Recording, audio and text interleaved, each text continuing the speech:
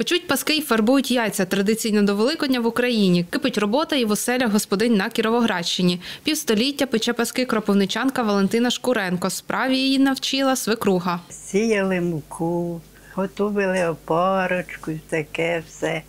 О, а потім свекруха піч пекла, затоплювала велика піч у нас була. О, ну і хорми були такі величенькі. Перше тісто місили, а потім виробляли. О, а там дровами піч топилася.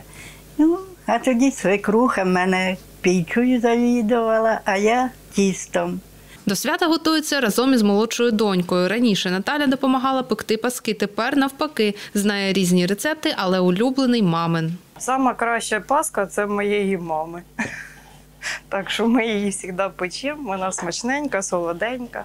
Ну, мамка завжди розказує, що треба додати туди ну, або водка, або коньяк. От, і не в всіх, рецеп, не в всіх рецептах є таке інгредієнт такий. Ми завжди, скільки пам'ятаю, ми завжди туди л'ємо, щоб вона довше не черствіла, довше зберігалася, смачніша була.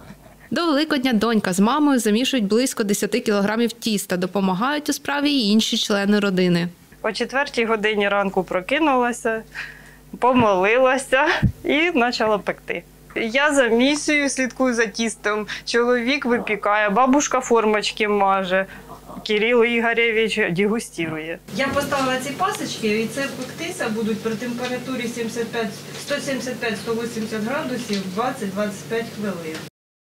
Великдень вважають свято родинним. Однак після спільної трапези сім'я традиційно ходить у гості. Цього року через карантин залишаться вдома. Поставимо все на стіл, прочитаємо Отче наш, а тоді священою водичкою це все посвятимо. О, і будемо тоді сідати і їсти.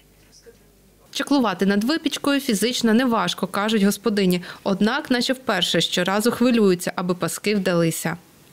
Марія Тарасенко, Лілія Кочерга, Григорій Зуб, телевізійні новини СІБІН.